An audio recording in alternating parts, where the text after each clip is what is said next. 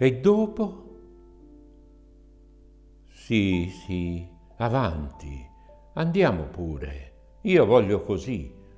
Tu, uomo maldestro, con un atto di rinuncia sotto sotto, non partecipi, non collabori e attendi la fine, stanco e deluso, e basta.